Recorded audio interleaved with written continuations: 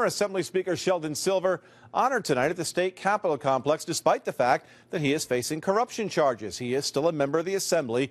Tonight he was lauded for his work on addiction services. Brendan Lewis was there to gauge the reaction. No legislative leaders attended, but there were some rank and file lawmakers. And Brendan, they say they decided to give this award long before the charges came out.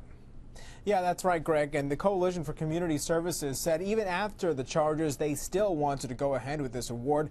Tonight, they even said they are proud to be associated with Assemblyman Silver.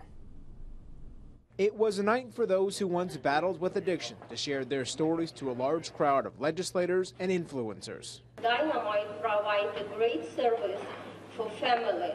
Assemblyman Sheldon Silver, battling his own legal challenges, was given the Champion Award by the Coalition for Community Services. It's his first award since being indicted on federal corruption charges, and he received a standing ovation. His long-standing, unwavering support as Speaker to the individuals and families of New York State suffering from addiction. March 3rd, 2015. Congratulations. I have spent a number of years uh, fighting to make sure their funding uh, stays in place. In years we had to cut, that we didn't cut them, uh, you know, dramatically.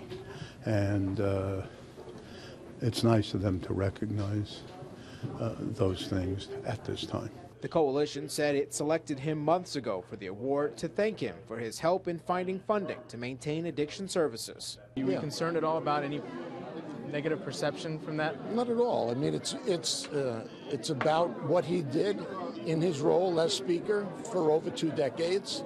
Uh, it's about the issue of uh, substance abuse. Silver did not answer questions on his current legal battle and abruptly ended the interview when asked if he could keep up the work that earned him the award now that he's no longer Speaker and facing corruption charges. Absolutely. Thank you.